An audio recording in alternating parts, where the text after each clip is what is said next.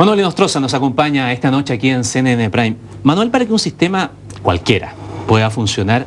también tiene que hacerlo sobre la base de eh, la verdad, sobre la base de la credibilidad, sobre la base de la franqueza y de que no se haga trampa. Voy a entrar ahora al tema bien siempre complicado de las licencias de salud. El otro día conversábamos con el ministro de Salud, el señor Mañalich, que también ha encomendado a esta comisión, ¿no es cierto?, hablar sobre esta materia, ver propuestas, y él señalaba datos que a nosotros nos llamaban tremendamente la atención, como por ejemplo que eh, los costos por licencias médicas en el sistema de salud hoy día son enormes, casi de un tercio se gasta en licencias de salud, y que en el sector público, por ejemplo, eh, se multiplica por cuatro la licencia que se entregan en el sector privado, o se trabaja en pésimas condiciones y están sometidos a un estrés laboral tremendo en el sector público que obliga a la gente a enfermarse cuatro veces más que en el sector privado, o sencillamente hay más manga ancha para entregar licencias médicas. ¿Qué es lo que pasa? Bueno, efectivamente, este fue un tema en la que no logramos consenso eh, en el periodo de la reforma pasada, porque se miraba por distintos ángulos de desconfianza, básicamente como una mirada de tratar de restringir beneficios y que paguen justos por pecadores. Recordemos que si bien hay fraude y hay mucha manga ancha en el control, particularmente el FONASA, ya ha sido evidente que el control eh, o la falta de control genera un aumento de gastos que no se justifica epidemiológicamente. No estamos tan enfermos los chilenos, según nuestros indicadores, como para incrementarse tanto el gasto en licencias médicas, pero eso puede ser visto para algunas personas que sí están enfermos, que sí tienen licencia médica, el hecho de que estén pagando eh, una suerte de ignominia en el trato público por personas que realmente requieren su, licencia médica. O en el caso de las ISAPRE, que sí tienen facultad para controlar y que de hecho controlan, porque por lo menos la licencia eh, laboral eh, implica o está asociada al cobro que la ISAPRE cobra por el plan de salud, se va de alguna manera, tiene un incentivo económico a tratar de controlar, a que nuevamente hay personas que estando enfermas con ese exceso de control dicen, bueno, a mí la ISAPRE con tal de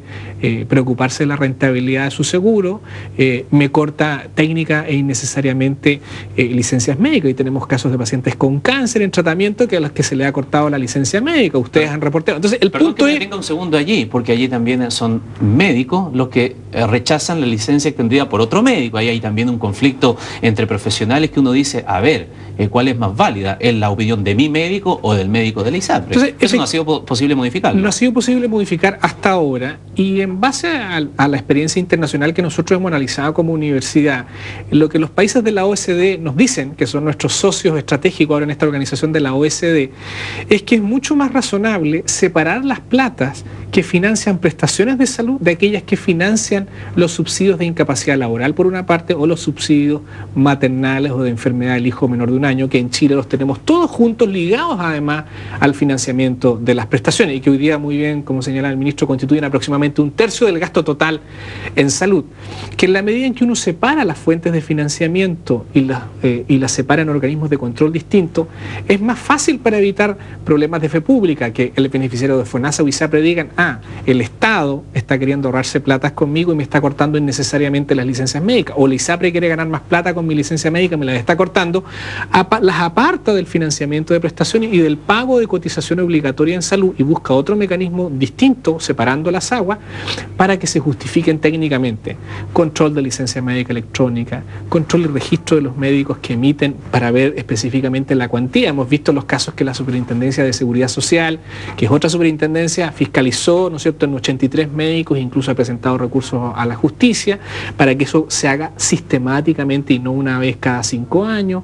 Se establecen criterios o protocolos clínicos para decir, efectivamente, un cáncer tiene tratamiento y requiere en su tratamiento reposo por un tiempo determinado, que podrá tener un fast track de aprobación si cumple con los estándares, así como un resfrío común sin complicaciones no requiere estar dos semanas en cama por ponerte los ejemplos extremos, en que uno se protocoliza y por lo tanto se puede trabajar clínicamente esto. Otros mecanismos de, control financiero de, las platas que se utilizan, porque recordemos que la licencia maternal e enfermedad del hijo menor de un año no la paga el ISAPRE ni el FONASA, la paga el Estado con cargo a aportes de impuestos generales de la nación, controlar que se gasten efectivamente esos dineros. En fin, hay una serie de mecanismos que se garantiza que mediante la separación de aguas puede ser mucho más eh, moralmente aceptado por la ciudadanía, el que se eviten los fraudes y abusos que sabemos que existen, pero al mismo tiempo se garantiza a quien lo necesita el correcto otorgamiento del beneficio. Y creo que de alguna manera explorar eso en esta comisión de expertos también puede ser un avance que no fuimos capaces de obtener con el auge del año 2005. ¿Ve en esta materia segunda, Manuel, tal vez un mayor consenso que tal vez en las primeras, a lo mejor lo de las ISAPRE es mucho más polémico que esto de la licencia médica, hay más consenso, ¿no? Tal vez porque se ha discutido un poco más, ya desde hace bastante tiempo. Bueno, ya, ya, avanzamos en algo, de hecho el, el ministro Erazo alcanzó a enviar un proyecto de ley que se está discutiendo en el Parlamento al cual se pueden juntar los avances que en esta otra dirección eh, alcancemos como comisión, que tiene que ver con incrementar las penas contra los médicos o profesionales que se vean involucrados en abusos o fraude e incluso contra los mismos usuarios que se vean afectados o empresas a veces de papel que se constituyen para hacer un fraude al fisco con platas del Estado o a privados con platas que hoy día van al sistema Yo creo que efectivamente ya hubo un avance que ahora se podría profundizar y armar una estructura legal con esta separación de roles y funciones que permitan garantizar que los beneficios le lleguen a quien corresponde y a los que abusan tengamos que aplicarle las máximas penas de, nuestros sistemas de, control. Creo que ahí también hay un nuevo espacio de avance. Eh, ahora, no así, o va a ser tal vez polémico en el subsidio, en la extensión del postnatal, por ejemplo, ¿ah? que ustedes ven que ahí hay dos roles en juego. Por un lado está la protección de la maternidad y del cuidado del niño, que toda la recomendación técnica indica que hay que extender el postnatal para estimular la lactancia a lo mínimo seis meses, no obstante la recomendación de lactancia adecuada es hasta ojalá dos años de duración por las externalidades positivas que genera en cuanto al desarrollo neurológico del niño, en cuanto a la alimentación más sana, a la prevención de enfermedades en los primeros años de vida.